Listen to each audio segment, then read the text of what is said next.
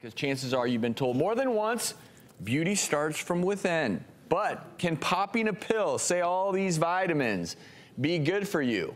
Well, will it really improve what you see in the mirror? Have a look.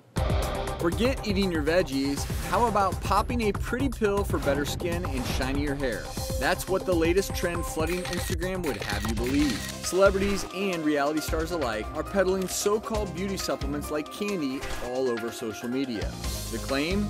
That special blends of herbs, vitamins, and other nutrients can stop the aging clock from ticking. Could it really be so simple, or is it all too hard to swallow? Let's talk about ingredients that people think may help them but actually don't. So over here, there's HGH. This is human growth hormone. The second one is this amino complex with collagen. And then the third one is elastin. And all of these, I think if you even do a Google search on your phone for beauty supplements, you'll find them right off the bat in pill form. And like you said, you know, with supplements, interestingly, they're regulated like foods. So they don't have to show any studies about their safety or their effectiveness to make any of these claims. HGH in pill form has never been shown to affect skin or wrinkles. And interestingly, it can have a lot of side effects. It can increase insulin resistance, speaking of diabetes. It can cause joint swelling.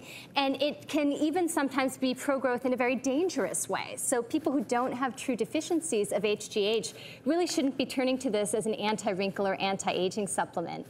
Um, the next one, the amino complexes with collagen, again, not regulated. So remember that anything that you take as a pill like this is actually going to be digested. You're going to put it through the acids of your stomach. So it's going to be broken down to its constituent parts, like the peptides and the amino acids. So it's not sort of magically transported back to your skin to give you that collagen back.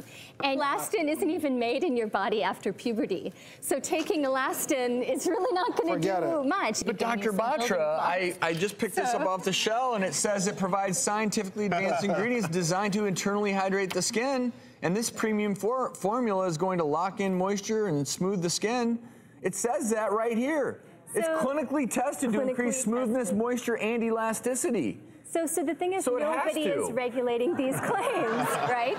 So you can basically put whatever you want on a supplement as a claim. What you have to prove is in some way it's been adulterated, meaning that it's actually like a harmful product or that they're trying to make a scientific claim. But a lot of times what they'll do is they'll actually take like an ingredient, like say vitamin C, and getting onto like the three so, things that actually so actually let's talk about help. things that may that may help. But so, we're talking about the real deal. You're getting mm -hmm. the right product here. Correct. What are, what are these so, that are going to maybe help? So, so kind of getting onto the real deal. These are things that at least there is some data and there are some studies. But to your point, you could have just one ingredient. You really have to be very skeptical when you read the label to make sure that those are the active ingredients as opposed to the inactive ingredients. Look for the Look to see if it has sugar. But these are three things that actually have data behind them. This is biotin, which is a B vitamin, that actually a study found recently that women who are experiencing hair loss, 38% of us are deficient in biotin. And it's also actually been studied in people with genetic conditions of their hair and nails. So this is one you can look for, at least 2,500 micrograms or 2.5 milligrams, and feel like, okay, I'm taking something that's giving me a building block that's actually This should help, help, with hair and nails. Hair right? and nails, exactly. Perfect. And then the second one here vitamin C. I think everybody talks about antioxidants now. This one is really well studied because it does offset free radical damage in the skin. It also is one of the factors that's necessary in the production of collagen. So it helps catalyze, it helps make that actually happen. So rather than thinking you're going to eat collagen, it's going to magically appear in your skin, this is something that will help you make it yourself. And then the third thing are omega fatty acids, the omega-3 fish oils, which also we're talking about good fats. You know, now we're coming to understand the cell membranes and the barrier function of the skin. This will actually help also decrease inflammation. It just provides a lot of aspects to help you restore that seal of your skin.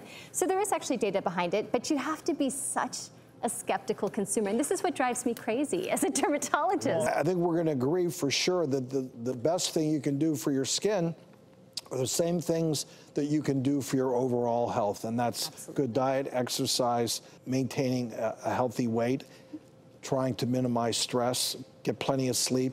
Those are the things that definitely. Those things put together are pretty sweet. Yes, they are, and very powerful. Stick around, everyone. More to come.